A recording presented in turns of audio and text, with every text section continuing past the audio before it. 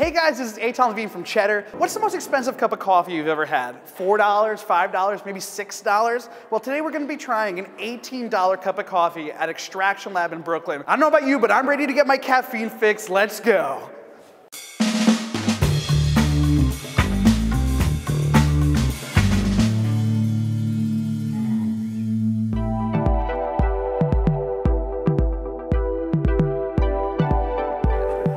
So my name is Thomas Perez and I am the CEO of Alpha Dominche and of Extraction Lab. As I've been drinking coffee for many years, I'm really intrigued by the whole spectrum of different flavor profiles and how they are being affected by different brew methods and different processing methods. Our $18 coffee is obviously our most precious thing we have on the menu. The one we have right now is a Panama Geisha coffee from 90 plus farms. The whole process is very specific to what they do on this farm. First they're using a geisha coffee which has a much lower yield than many other types of coffee. The way they pick the cherries is also very different. They only pick ripe cherries, so they have to go back to the same plant up to five or six times. Later on, they have certain fermentation methods that they are processing the coffee with, and at the end of the day, it's a combination of variety, processing methods, and the uniqueness of this coffee that drives up the price. I mean, a whole new experience is waiting for you. It's almost like being in a theater. You're watching the whole brew process from the beginning to the end.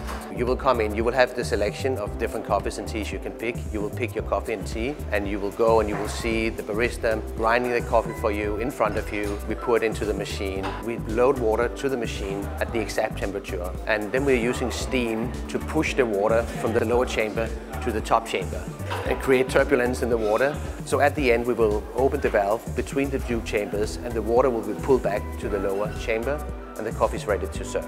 This coffee has a lot of sweetness, it has floralness, it has a lot of almost I would say conflicting profiles of, of flavor from like very sweet to acidity and so forth. If you really want to try something unique in your life, then this coffee is the way to go. Wow. Yeah, it does not taste like regular coffee.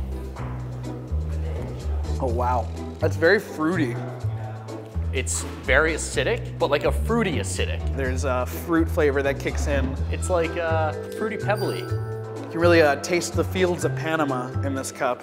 All right, guys, I had the $18 cup of coffee. I'm not gonna lie, I'm feeling super caffeinated, so I'm gonna go. Thanks so much for watching. Make sure to subscribe to our channel and like our Facebook page and our Twitter page and all the other social media stuff. All right, uh, bye.